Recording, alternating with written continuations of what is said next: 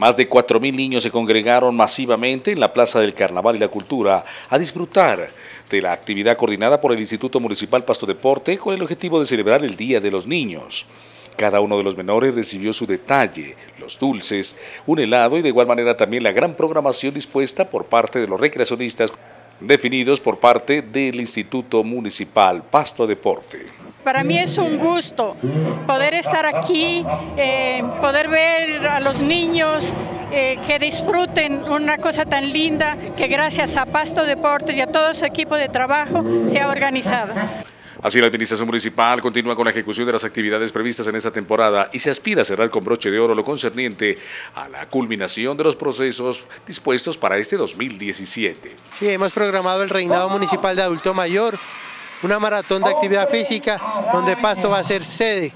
Es la idea, seguir generando estos espacios de recreación, deporte y actividad física para mejorar la calidad de vida de todos los habitantes de Pasto sin novedad y con un parte de seguridad total en cada uno de los aspectos de la coordinación de la administración municipal, se vivió en nuestra capital el desarrollo de la celebración del Día de los Niños.